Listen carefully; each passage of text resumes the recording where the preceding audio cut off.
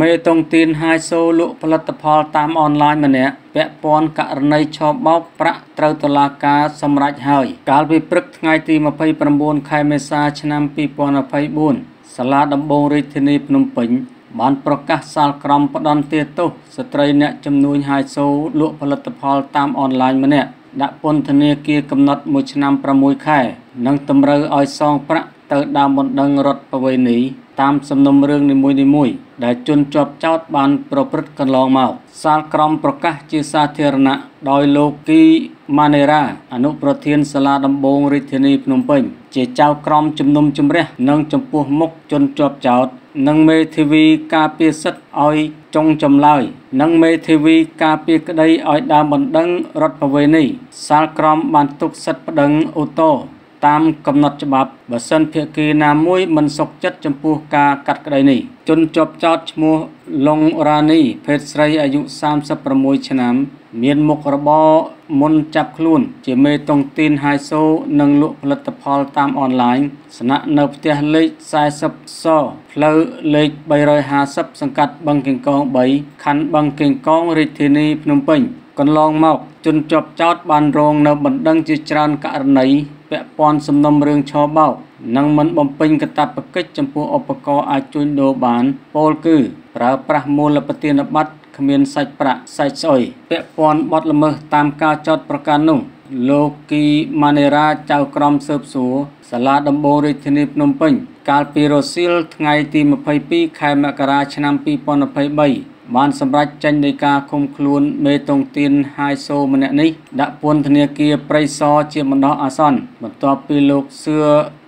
ឡុងឌីព្រះរាជអាជ្ញារងតំណាងអัยការអមសាលាដំបងរាជធានីភ្នំពេញ បានធ្វើការចោទប្រកាន់ជនសង្ស័យជាផ្លូវការពីបទឆបោក និងមិនបំពេញកាតព្វកិច្ចចំពោះឧបករណ៍អាចជួញដូរបាន ចេញមូលបទានប័ត្រសាច់ស្អុយដែលមានទំហំទឹកប្រាក់ប្រមាណរាប់សិបម៉ឺនដុល្លារអាមេរិកឯណោះជនសង្ស័យត្រូវបានកម្លាំងសមត្ថកិច្ចនគរបាលនាយកដ្ឋានព្រំប្រទានក្រសួងមហាផ្ទៃធ្វើការខត់ខ្លួនកាលពីថ្ងៃទី21ខែមករាឆ្នាំ2023និងបញ្ជូនទៅសាលាដំបងរាជធានីភ្នំពេញ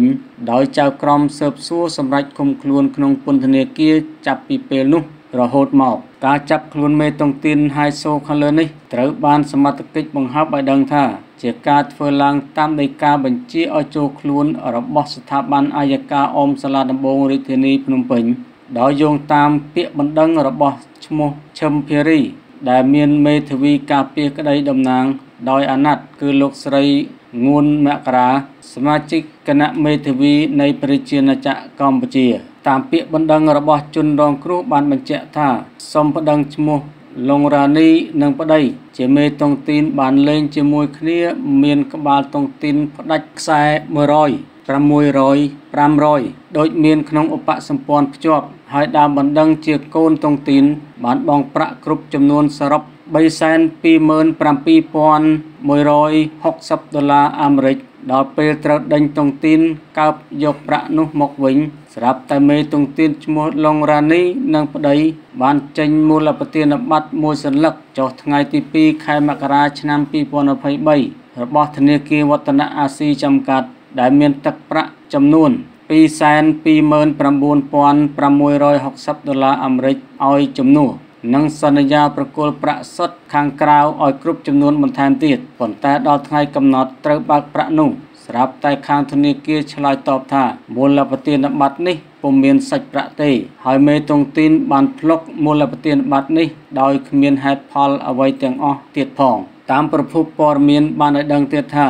នៅមានកូនតុងទីនជាច្រើនអ្នកទៀតដែលរងគ្រោះ ដោយសារមេតុងទីនពីអ្នកប្តីប្រពន្ធនេះវិច្ចលុយរដ្ឋសរុបជាទឹកប្រាក់ប្រមាណ7.2លានដុល្លារអាមេរិកឯណោះហើយកូនតុងទីនដែលរងគ្រោះទាំងអស់នោះបាននឹងកំពុងរៀបចំឯកសារពាក់ព័ន្ធដើម្បីពឹងមេធាវីការពារផ្លូវច្បាប់ប្តឹងឈ្មោះឡុងរ៉ានីនិងប្តីបន្តបន្ទាប់ពាក្យបណ្ដឹងជាជនរងគ្រោះ ក៏បានស្នើសុំឲ្យស្ថាប័នអាយកាអមសាលាដំបងរាជធានីភ្នំពេញមេត្តាចាត់ការលើមេតុងទីនពីអ្នកប្តីប្រពន្ធទៅតាមច្បាប់ ដូច្នេះពេលនេះច្បាប់បានសម្រេចហើយ តាមរយៈសាលក្រមគឺផ្ដន់ទាទោសមេតុងទីនហើយសូលក់ផលិតផលតាមអនឡាញម្នាក់នេះដាក់ពន្ធនាគារកំណត់រយៈពេល1ឆ្នាំកន្លះនិងតម្រូវឲ្យសងប្រាក់ទៅដើមបណ្ដឹងរដ្ឋប្រវេណីតាមសំណុំរឿងនីមួយៗដែលជនជាប់ចោតប្រព្រឹត្តក្រុមហ៊ុនហ៊ូតជាផ្គត់ផ្គង់សម្ភារៈសំណង់ទូទាំង25ខេត្តក្រុង